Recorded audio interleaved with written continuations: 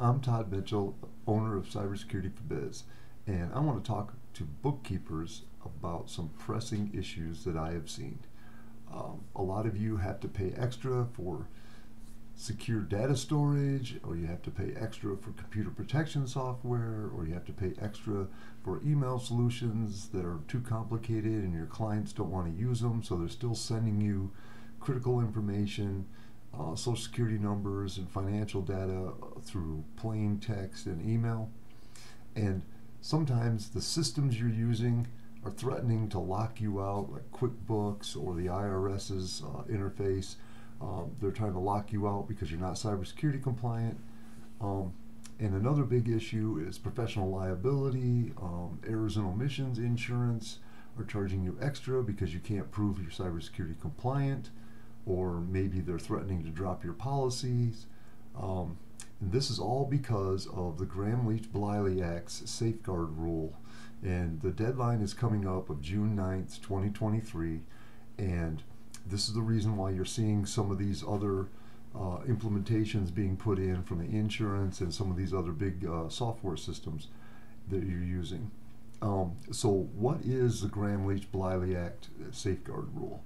Well, Gramm-Leach Bliley Act uh, has been in place since 1999, and it uh, used to affect licensed professionals like CPAs and stockbrokers and insurance brokers and uh, official financial uh, banking institutions. And um, about 2006, they added a clause in it that says instead of just uh, saying that it affected uh, licensed professionals, it said licensed professionals and you have to secure your customers' information. But it didn't really go into a lot of details. Well, in the fall of 21, they passed a safeguard rule. And the deadline, because of COVID, was extended a couple of times, but now it's coming up on June 9th, and they were not going to extend it again, so this one is the actual real deadline. And what the safeguard rule did was two things. First of all, it clearly defined what protecting your customers' information looks like, and it lays out um, basically mandates that you follow the government's uh, NIST uh, cybersecurity framework or the 800 171 series, and it also um, detailed a second thing, which was it allowed the Federal Trade Commission, the FTC, which is a governing body over the Gramm-Leach Bliley Act, and it allowed them to redefine the financial industry.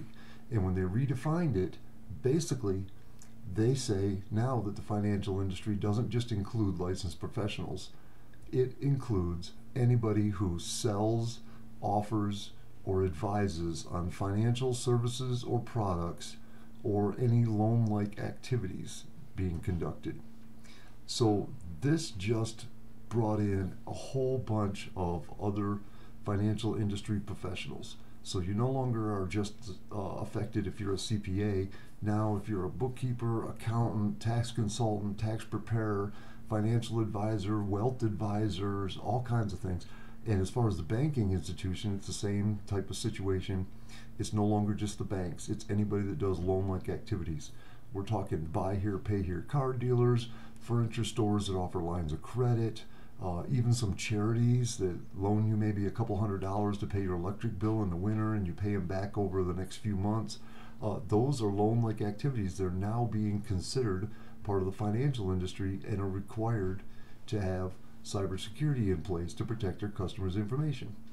Um, now, as a consumer, I personally think that this is a good thing. I mean, I don't care if you work for H&R Block or if you're a stay-at-home mom on your dining room table. If I'm giving you my bank account information and my social security number, birthday, and things like that, you should be doing uh, the same level of security to make sure my information stays safe. So it's a good rule. The bad part about it is that this rule was not well advertised, and I think uh, from my experience there is a whole lot of people, especially smaller micro businesses and entrepreneurs, that are affected by this rule that don't understand what it is or are not even aware of its existence. Um, so today I wanted to basically kind of point out to you some of the things that this rule includes and what you have to do about it. So, as a bookkeeper, there's five things you need to do to have cybersecurity compliance. The first is a documented inventory of all your assets, uh, and this is includes hardware and software assets as well as the people involved in the process and the types of data that you are storing and transmitting. Um, and the second thing you need to look at is a risk management plan to find your threats and vulnerabilities. Now, risk management plan basically you take all the known threats and vulnerabilities, and this is an evolving thing, so you can always add to it, um, and you assess those for the likelihood of occurrence and the consequence if it does occur. And then you basically uh, make a list prioritized by the highest priority ones, dealing with those first, and finding ways to mitigate them down to a lower priority if it's something you can't fix. Uh, the third thing you need to look at is implementing basic cybersecurity best practices.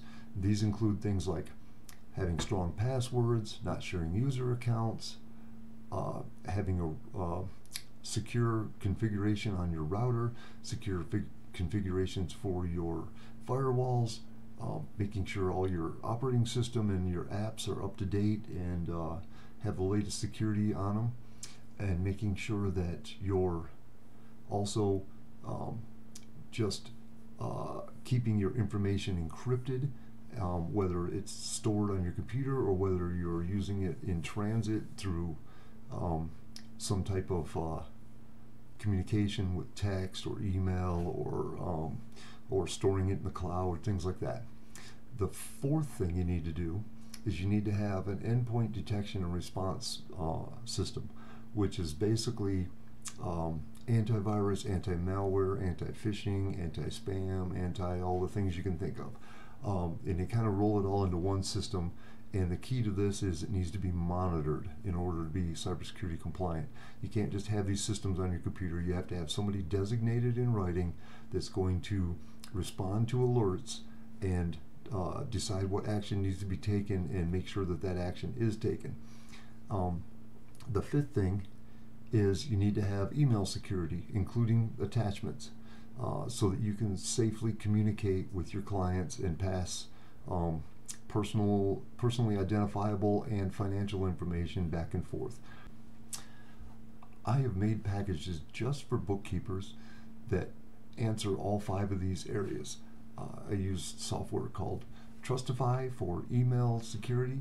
It is uh, something that just basically it's an add-on to Google uh, Gmail and to Microsoft Outlook um, accounts so that you can just um, still use your same software you have been using to check your emails and send emails and this uh, rides on it and gives you a couple extra features where you can password protect emails.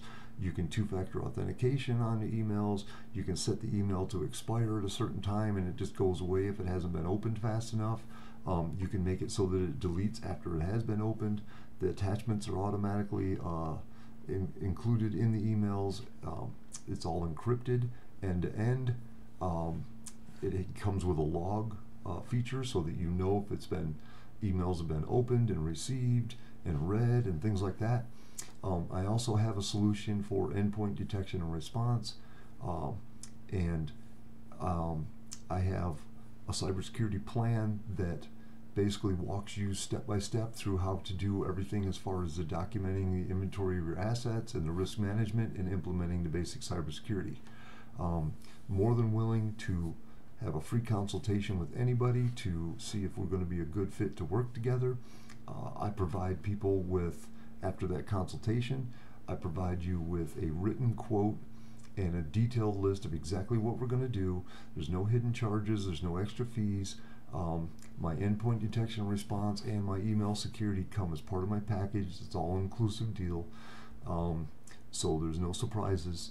Uh, you know exactly what you're getting into and I do uh, work exclusively with um, small businesses and entrepreneurs, uh, basically zero to five employees.